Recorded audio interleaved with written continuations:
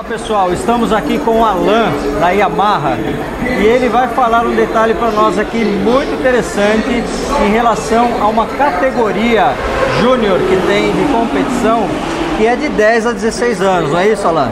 É isso aí. É uma categoria que a gente idealizou ano passado. Com, a gente tinha uma equipe que era dois pilotos, Meikon e Tom Kawakami. Ambos um tinha 15 e o outro 14. E aí a gente levou essa ideia junto à Yamaha, a fomentação de novos pilotos. O Macon, que foi campeão um ano retrasado, hoje ele está no Mundial de Moto Velocidade, foi, fez terceiro lugar no Campeonato Europeu com apenas 15 anos. E aí esse ano a gente tem 10 motos, são para pilotos de 10 a 16 anos. Então assim, o grid tem aproximadamente 35 motos. Mas na nossa equipe é apenas pilotos de 10 a 16 anos e eles não precisam ter a moto. Na verdade as motos são da Yamaha, a Yamaha fornece, os pilotos vêm apenas com macacão, capacete e colete de segurança com custo muito baixo, perto de andar em qualquer outra equipe. Então, assim, é uma categoria para formar pilotos, onde a Yamaha apoia diretamente e tem todo o suporte da fábrica.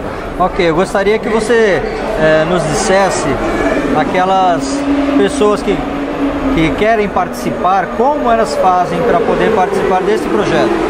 Hoje o caminho mais fácil é através do Facebook da equipe PlayStation Yamaha Racing ou através do próprio Facebook da Yamaha oficial, mandar mensagem, inbox e deixar o e-mail ou telefone que a gente retorna, entra em contato.